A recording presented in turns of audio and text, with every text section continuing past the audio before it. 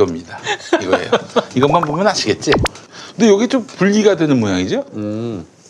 아 이게 이게 혹시 진짜 분리가 된 게 이게 따로 없어도 되는 이것만으로 아, 충분히 가능한 뭐 그런 겁니까? 뭐예요 대체 이게? 아니 한번 사용을 해보시지 않았습니까? 근데 이게 어떻게 뗄수 있는 건지 모르겠네. 이게 바뀌었나요? 밑에서 뭔가 아니요 뗄수 없는 거예요? 밑에서 뭔가 닫아야 되지 않나요? 근데 근데 왜 이게 일체형이 아니지? 일단 여러분 저기 다시 한번 좀 설명을 드리자면은 이렇게 꽂고 아, 예, 이거 네. 이거 여기다가 또 이제 뭘 좀 발라야 돼. 그죠? 음. 연고는 아니고 이제 마데카소 같은 거. 예, 예. 요걸 짜가지고 이렇게 요 주변을 아. 두르고 그리고 이제 집어넣고 여기다가 이제 이걸 끼워가지고 아유 서투른 척을 좀 해야 됩니다. 이미 다 끼워놓고 끼는 척하지 마세요. 한 방에 끼워놓고. 예, 예. 그래놓고 요저 기계에다가 이렇게 음. 넣고 짝 하고 누르면은 어. 여기서 이제 이게 이제 여기다 이제 해당되는 부위에다 집어넣고 딱 누르면은 네. 피가 돌게 해준다는 거지. 일종의 부항기. 부항가도 같은. 네. 네. 그렇습니다. 예, 여러분 저 그렇게 쓰시면 되고 효과를 어마어마하게 받나 봐요. 음. 그걸 어떻게 할 수 있느냐? 이 회사가 아직 안 망했어요. 아 이 회사가 아직 안 망한 거 보니까 저 방금 원- 모델로 쓴다고 하지 않았었나요, 김민 PD를? 어떻게 됐어요, 본부장님? 아, 답변이 안 왔어요. 답변이 안 왔어요. 아, 저 우리 본부장님이 좀 세게 얘기하셔가지고 어. 나름대로 이미지 훼손이 되잖아. 내가 광고 모델이면 내가 썼다는 걸 전제로 사람들이 인식할 텐데 그럼 이게 필요한 사람이라는 사회적 낙인이 바뀔 수 있기 때문에 그래서 좀 세게 부르셨나 봐. 우리 아하. 본부장님. 예, 그래요. 잘 왔는데 이미지라. 이미지가 막히는. 아, 뭐가 문제인 거죠? 예, 그렇지 않습니다. 다음엔 바나나 하나 가져옵시다. 얘기하셨, 얘기하셨습니다. 예, 알겠습니다. 왕참촌님께서 음. 질문을 주셨는데 음. 안 아픈가요?라는 질문을. 아, 아프지 않습니다. 어. 음. 아이고, 내가 무슨 써보신 거 일을 했네 했어. 했어. 아니 아플 것 같은데? 안 아파? 예. 어. 부항 들때 아픕니까? 약간 아프죠. 아파요? 그럼요. 그렇군요. 좀 아프죠. 그래도 또 그런 게 이걸 써서 효험이 있을 것으로 추정되는 미래를 생각하면은 네. 그 아픔이 아픔으로 느껴지지 않습니다. 음. 음. 이 구성에서 가장 제가 생각했을 때 옹골찬 구성이 차량용 시거잭 아니겠습니까? 차량에서 할 만합니까 이게 운전하면서 시가책이 있어요. 실제로 시가책이 있어. 네. 너무 깜짝 놀랐어요 이거. 장시간 운전할 때, 뭐 네. 서울에서 부산 그럴 때 혼자 운전할 때는 또 이런 게 아니, 있었으면은 졸음 운전도 또 피할 수 있고. 아니 그러면 예. 썬텐을 엄청 진한 차량만 가능한 거 아닙니까? 아니 뭐 썬텐을 할 게 뭐 있어? 밑에를 누가 봐? 어떻게 봐? 그렇죠 예. 보통 잘 안 보죠. 네, 그렇습니다. 아니 저기 차량 버스나 차량 높은 아, 차량 위에서? 위에서는 보여 그럼 보입니다. 담요 덮으면 되지 뭐. 담요 덮으면. 담요 덮으면. 그 요즘 아니 추워- 그게 담요로 덮는다고 가려집니까? 저렇게 굵은데. 네, 네, 여러분 저 그럴 때일수록 안전 운전해야 됩니다. 네. 갑자기 접촉 사고가 나고 야 내려. 야 내려. 내려. 네. 조심하시기 바랍니다. 어, 머리긴스님이 새로운 제목을 제안을 어, 해주셨어요. 어떤- 어떤- 발기 넘는 기자. 그래요. 네. 예, 알겠습니다. 자, 많은 고객들이 인정한 확실한 효과, 발기부전, 조루, 전립선 문제 등 남성들의 고민 해결사, 특허받은 의료기기 코코메디. 아내의 샤워 소리만 들어도 잠든 척하기 바빴던 분, 여자친구랑 첫 여행 가서 실망감만 안겨주셨던 분들, 여자친구로부터 아 실망입니다. 이런 얘기를 들으신 아 여자친구 그런 말투로. 예. 뭐 이런 비난을 들으신 분들 강력히 그거는 코미디의 추천합니다. 문제가 아닌 것 같아요. 예.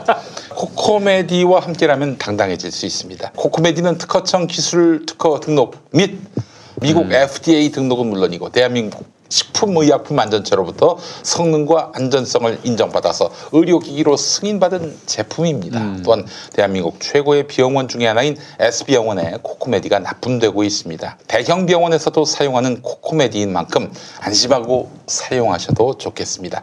이벤트 참여 방법은 검색창에 김용민 코코메디 이벤트라고 검색하신 다음에 음. 상단 링크 또는 블로그로 들어가서 제품 정보 확인한 후에 상담 신청을 하시면 되겠습니다. 또는 본사 대표 번호 08069의 7000번, 08069의 7000번으로 전화하셔서 부담 없는 무료 상담 받아보시기 바라겠습니다. 자, 우리 저 정상근 기자님. 네, 저는 뭐 간단한 거 두 가지 소식을 좀 전해왔는데 일단 첫 번째는 이 얘기를 안 짚고 넘어갈 수가 없어서 음. 최근에 이 고 박지선 씨 사망 관련돼서 아. 네, 언론에서 보도가 굉장히 많이 나왔는데 이게 매번 연예인분들이 좀 안타깝게 생을 마감하실 때마다 같은 비평을 제가 하고 있어가지고 그렇죠. 제가 다 명구스러울 지경인데 아이고. 이게 참 어떻게 좀 고쳐질 생각을 안 합니다. 오히려 갈수록 점점 더 심해지는 거 아닌가라는 생각이 들 정도인데 음. 어쨌든 뭐 고인에 대한 얘기를 하려고 이 말씀을 드리는 건 아니고 네. 이 언론 보도 관련해서 좀 말씀을 좀 드릴까 합니다. 그래서 예. 이 고인의 죽음까지 흥미거리로 소비하는 언론의 행태가 좀 도저히 바뀔 기미가 없고 계속 이어가고 있다라는 생각이 들 수밖에. 없는데 특히 역시나 뭐 이번에 가장 논란이 많이 됐던 기사는 역시 조선일보 기사. 왜냐면 그렇죠. 거기서 예. 단독을 달았잖아요. 예. 단독을 달고 고인의 모친의 유서 내용을 네. 공개를 했습니다. 그러니까 이전에 이 분명히 이 고인의 유족분들이 유서 공개를 원하지 않는다라고 경찰에서도 이렇게 그쵸. 밝힌 바가 있거든요. 그럼에도 불구하고 그게 뭘 이렇게 중요한 단독이라고 그거를 또 가져와 가지고 이 대중들한테 공개를 한 음, 음. 조선일보가 그랬던 상황이죠. 음. 어, 그래서 이 부분이 굉장히 좀 문제가 됐고 비판도 이어졌는데 어쨌든 뭐 이 얘기는 그 유족의 의사에도 반할 뿐더러 이 유서 내용을 보도를 자제를 해야 된다라는 게 이른바 자살 보도 권고 기준, 그러니까 그쵸. 윤리 강령이에요. 다른 뭐 법적으로 정해진 것도 아니고 기자협회가 만들어지면서 기자협회가 이런 거는 지켜야 된다라고 그 자기들끼리 만든 규약인데 음. 이것조차 그냥 내팽개치고 이렇게 일종의 이제 고인의 사망을 좀 흥미거리로 소비하는 이 조선일보였고요. 음. 그러면서도 또 고인이 생전에 앓던 지병을 이 사망 동기하고 이제 연결짓는 좀 그런 보도도 쭉 이어갔는데 그 어뷰중 기사도 등장을 했죠. 이 아. 해당 질병의 이름을 딱 놓고 어떤 병 이걸 치료하려면 무엇 이렇게 썼는데 일단 이 병 때문에 고인이 잘못됐다라는 거는 이 순전히 언론의 추측일 뿐이고 아직 연관성 없습니다. 네, 그럼요. 이 고인의 진정한 뭐 의미들 뜻 같은 것도 잘 알 수가 없는 상황에서 어쨌든 그 언론들이 지금은 이제 추측을 해서 보도를 하는 상황이죠. 이제 그걸로 이제 어뷰준까지 하는 거고요. 음. 그래 놓고 이제 스포츠 소송 같은 경우에는 이 가로세로 연구소가 박지선 씨를 클릭파리에 이용한다는 비판 기사를 썼는데 이 니네 가족들도 지금 그러고 있다는 말을 음. 네, 꼭 좀 전해주고 싶었고 음.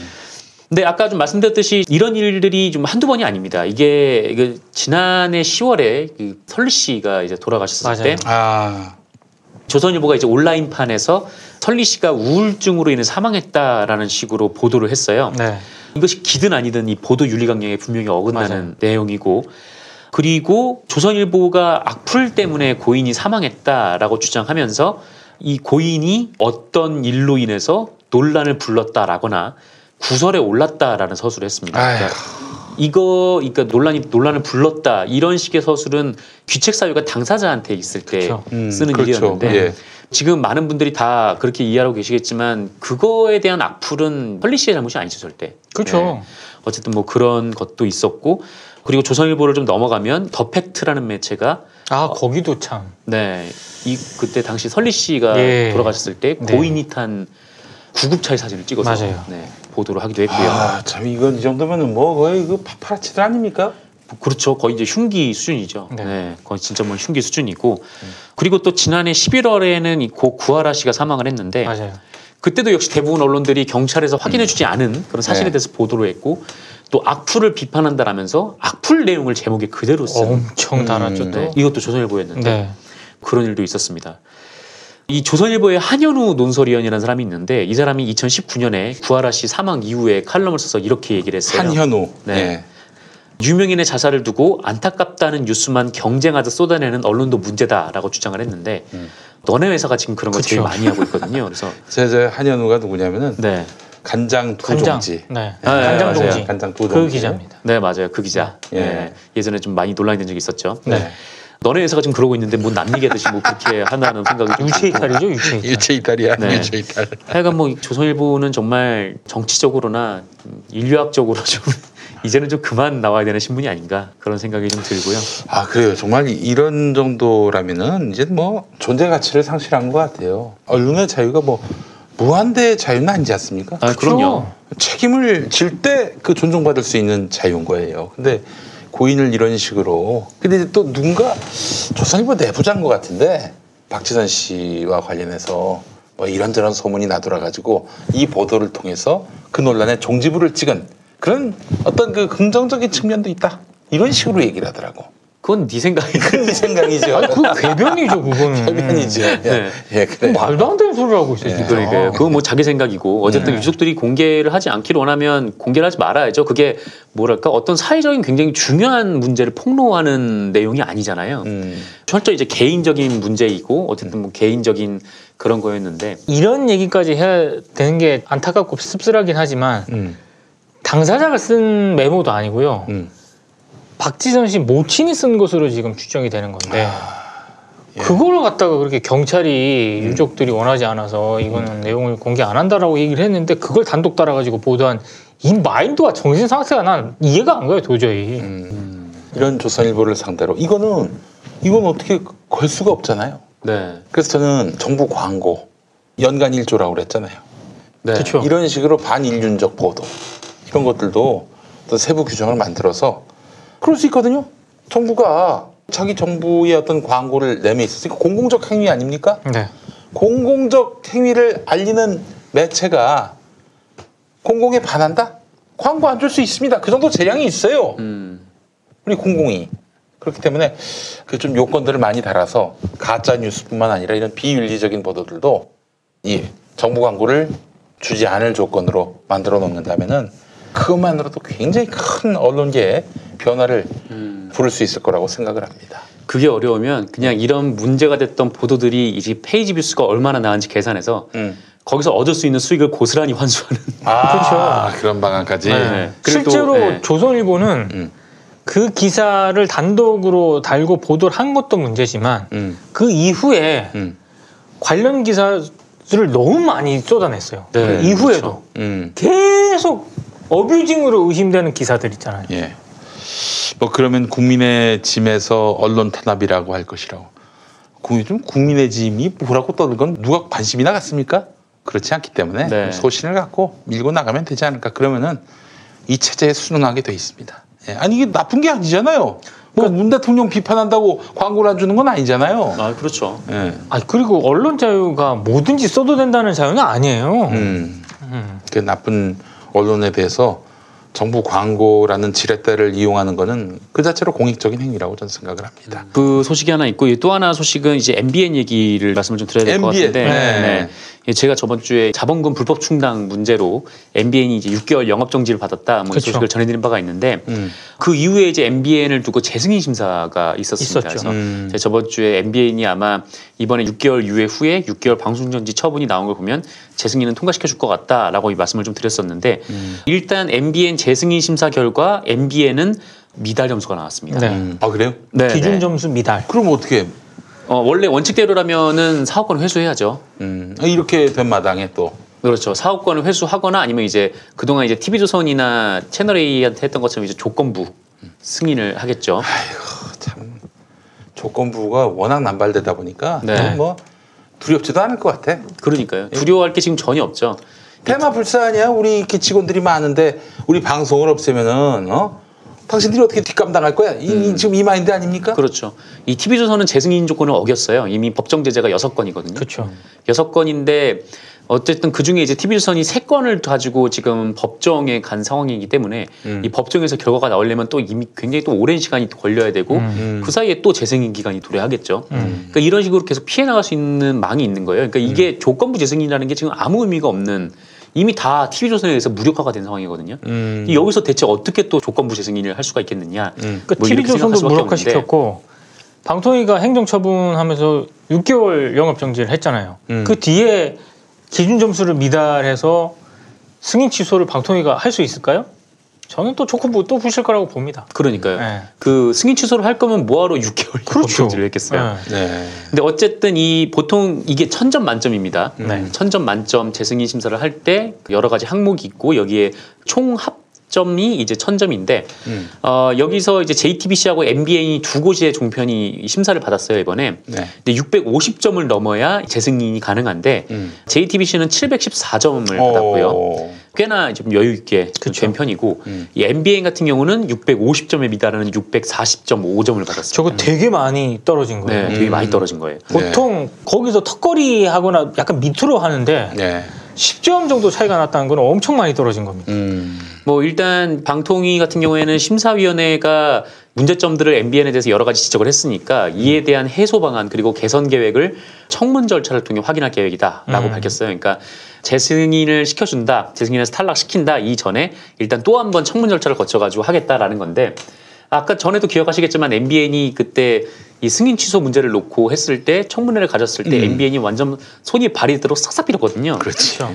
아, 죄송합니다. 저- 제가 잘못했습니다. 뭐 음. 지금 우리 대표 구속됐고요. 뭐 지금 아우 진짜 저희 큰일 났습니다. 뭐 이렇게 손이 내려 싹싹 빌었는데 그런데 이 방통위가 6개월 영업 정지 처분을 내린 다음에 이거 제소하겠다라는 입장을 밝혔어요. 그렇죠. 불과 하루 전만 해도 성명을 내가지고 국민 여러분께 사죄드린다. 거듭나는 MBN이 되겠습니다. 그랬거든요. 언론이 그래, 언론이. 차라리 난 이랬으면 어땠을까. MBN에 대한 결정은 또 1년 미뤄.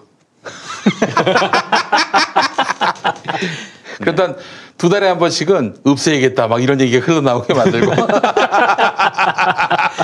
사람 못 살게. 사람 못 살게 아주 그냥 애간장 태워가면서 애간장 예. 태우고. 예. 아 그럴 수도 있었는데 또 그렇게 하지 않았습니다. 그러니까 뭐든지 그렇거든요. 그런 말 있잖아요. 칼을 뽑기 전이 무섭다. 그렇죠. 뽑는 순간 이제 공포감은 한 반으로 확 줄고 음. 휘둘렀는데 목이 안 베어진다. 그럼 거기서 또 그럼. 반이 또 이제 공포심이 사라지는 것이고. 네. 아. 목을 일단 때리기라도 해야 돼. 네. 때리기라도 해야 되는데 지금은 뭐 그냥 갖다만 대고 뭐 협박만 하고 있는 뭐 그런 상황이다 보니까 네, 그래. 말을 들 리가 없죠 방송가들이. 아이고 안타깝습니다. 언제까지 계속 이렇게 그냥 변종만 울리다 말 건지 좀 한번 잘못한 것 원칙에서 어긋나는 것은 누구를 막론하고 손볼 때는 좀 손 봐야 하는 게 공공의 권능을 위임받은 사람들이 해야 될 일인데. 근본적으로 음. 방통위 체제가 한계가 있어요. 그러니까 방통위가 독임제가 아니에요 지금. 합의제죠. 합의제이기 네. 때문에 음, 만약에 지금 야당이 추천한 상임위원들이 음, 어떤 안을 제시를 할 거 아닙니까? 음. 그러면 합의제 정신의 바탕을 두고 있기 때문에 흔히 말해서 쇼부를 봐야 돼요. 음. 접점을 찾아야 음. 돼요. 네. 이 안과 이 안을 가지고. 음. 그러니까 뭐 위원장이라든가 이런 쪽에서 독단적으로 할 수가 없거든요. 네. 그러니까 이 지금 방통위 체제가 여전히 유효한 것인가에 대해서도 한번 고민을 해볼 필요가 있어요. 이거 언제까지 이럴 거야, 이거? 그렇죠. 근데 방통위 체제가 이제 이명박 때 만들어진 만들어졌죠. 체제인데 근데 그런 합의제에도 불구하고 종편 출범할 때는 그냥 쫙쫙쫙쫙 나가서 그냥 만들어 버렸거든요. 그렇죠. 아 이건 어떨까요? 제가 늘 얘기하는 직접 민주주의 실험. 음. 국민들이 지금 다 하나씩 스마트폰을 갖고 있단 말이에요. 스마트폰 없는 국민들은 동사무소 와서 투표해도 되는 것이고 해서 국민 투표에 붙이는 거예요. MBN을 MBN. 취소할 것인가 아니 아닌가. 뭐든지 장관 인사도 음. 이 사람을 여러분 저 장관 세우려고 하는데 국민 여러분 어떻게 생각하십니까? 그러니까 국회의원 뽑았다가 뭐 4년 내내 잘못 뽑았다 이렇게 하는 바에는 아예 진짜 직접 민주주의 실험을 한번 해보자는 거죠. 미국식 어떻습니까? 미국식 어떻게? 사전 투표 해가지고 네. 지금 대선 당선자 확정 전까지 음. 4일인가 걸렸잖아. 와, 그럼 이 택배가 속도가 언제까지 기다려야 되는 겁니까? 그러니까 이제? 아니 그거 말고 이제 그 이렇게 하는 거예요. 그렇게 해서 꼭 국민 투표가 강제력은 없지만 공개는 되게. 음. 예를 들어서 이제 MBN을 없애라 이런 의견이 한 50일 나왔다. 국민의 뜻이 그 51%로 확인됐지만 결정은 대통령이 하는 거지. 음. 뭐 혹은 방통위원장이 하든지. 그런 식으로 직접 민주주의 실험을 할 수는 없는 것인지. 제가 이번은 좀 그렇고 다다음쯤에 한번 대권 출마를 한번 해볼까. 근데 딴 거 없어. 뭐 내가 대통령이 될 목적이 아니라 음. 내 정책을 홍보하기 위해서 직접 민주주의 실험. 나는 대통령이 돼서 권력을 누리는 게 아니라 집계를 해서 발표하고 그런 뜻의 100% 국민들의 뜻을 반영하겠다. 기호 8번 아바타. 이제 국민 아바타. 그래서 네. 나는 저기 예전에 그런 얘기도 했어요. 벽보판에 기호 몇 번 김용민하고 그 벽보판에 내 얼굴이 아니라 거울처럼 된 종이 음. 있잖아요. 아. 갖다 붙이고 여러분이 대통령이다. 네. 이렇게. 음. 선관위가 허락할지 모르겠네요. 네? 아이고 내 마음이지 뭐 포스터를 뭘로 만들든 음. 네? 출마자만 김용민일 뿐이지. 그렇게 하지 않고서는 예, 정말 국민 주권주의는 참 유언한 것 같다 이런 생각이 들고 예를 들어서 세월호 문제와 관련해서 이거 특검으로 가자 야당이 반대를 하건 여당이 반대를 하건 그걸 국민 투표에 붙이는 그런 권한은 대통령이 갖고 있단 말이죠 음. 그렇게 해서 국민들에게 믿고 맡기고 가자 왜 그걸 못하나 모르겠어요 예. 그러니까 국민 미국 같은 경우 배심원 제도 두지 않습니까? 네. 사법 그거 예. 약간 차용할 필요는 있는 것 같아요. 그러니까 음. 모든 게 지금 소수의 고위 관료들 음. 혹은 뭐 방송으로 따지면 상임위원들 음. 몇 사람 안 되는 음. 이런 사람들의 권한으로 이렇게 자꾸 결정이 되다 보니까 음. 다수의 어떤 국민들, 음. 뉴스 수용자들 이런 분들의 의지와는 좀 다른 결정들이 많이 내려지잖아요. 음. 그러니까 투표로 해서 이런 의지가 뭐 결정이 반영되는 게 아니라 음. 적어도 국민들의 뜻은 이렇다라고 하는 게 음. 그러면 이제 표출은 돼야 돼요. 그, 그 결정하는 사람도 부담을 느끼지. 그렇죠. 국민 뜻에 네. 반하게 했을 경우에는 저는 네. 그 배심원제를 일종으로 도 활용한 건데 그런 식으로 뭔가 음. 새로운 대안이 좀 필요한 것 같아요. 이 너무 지금 음. 소수 엘리트들과 소수 관료들에 의해서 음. 중요한 결정들이 국민의 뜻과는 좀 어긋나게 결정이 되고 있는 것 같아서. 그래서 저는 국민들한테 그런 지지를 동의를 받으면 관료주의도 다 이길 수 있다고 봐요. 그렇죠. 그렇죠. 네. 네. 그렇잖아요. 네. 어? 뭐 언론에 휘둘릴 거 뭐 있습니까? 국민 다수 의견이 이러한데 또 트럼프 같은 국민이 있어서 그 투표는 무효다. 어? 다 조작된 것이다. 이러면 또 할 말이 없어지지만은 네. 네. 하여간 참 우리가 갈 길이 멉니다. 대한민국 그럼요. 민주주의가요. 자 오늘 저기 국물 없는 기자회 네. 첫 시간이었고 뭐 이름만 바꿨습니다. 뭐 시그널도 안 바뀌었고 뭐. 음. 예. 저희가 편치 않는 마음으로 항상 이 언론 문제를 소상히 한번 짚어드리도록 하겠습니다. 네. 자 오늘 함께해 주신 여러분 두 분 감사합니다. 우리 네. 저 정상근 기자님, 민동 기자님 수고하셨고 다음 주 이 시간에 뵙도록 하겠습니다. 네. 자 인사드리겠습니다. 고맙습니다. 고맙습니다. 감사합니다. 예.